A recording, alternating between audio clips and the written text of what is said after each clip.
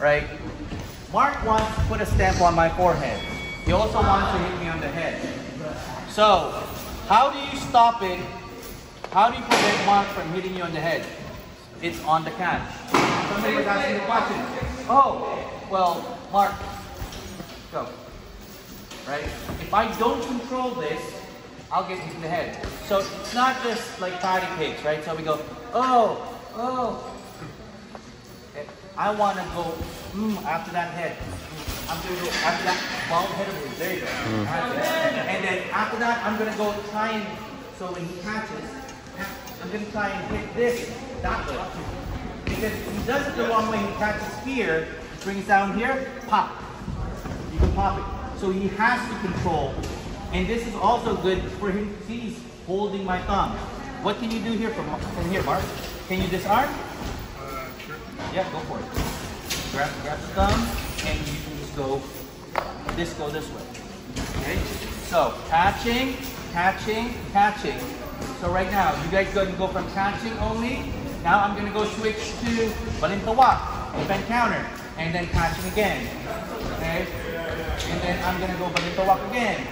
Now, at some point, one of us wants to do a disarm. So, at any point in time in the disarm, catching, here's a simple disarm. Catch it, put it in your, who knows what this is called? It's called Kili Kili.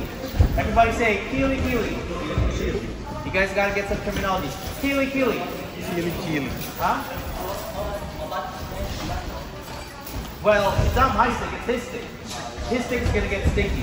So here, put it in your armpit. The idea is, it's leverage. This goes up, your armpit stays there. Okay? Now, to take, who here is in a relationship? Hands up. Okay. What's one of the secrets to like having a good relationship? Is it just take all the time? It's a give and take. So, Martin and I are giving. We're very giving to each other.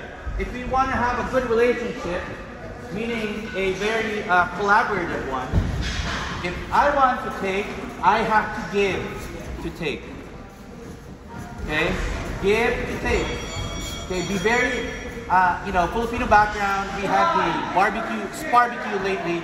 So one of the things is hospitality and having, you know, that sense of abundance because like we never grew up with a lot of food in the Philippines. So we try and be generous this time around as much as we can in whichever way. So use your martial arts, be generous. Give him here. If he's still holding on to it, put you the hand.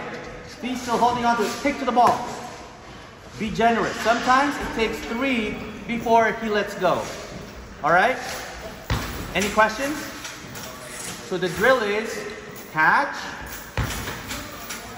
to your defendant counter to anytime Mark wants to do a disarm, he's gonna catch and put it in the kilikili.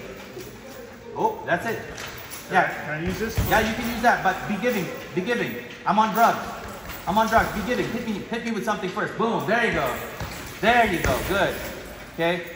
When you're fighting with someone, they could be on something, or they have a high pain tol- tolerance, or they're double jointed. So you have to give them something else to think of. Does that make sense? All right. Partner up again. Rotate.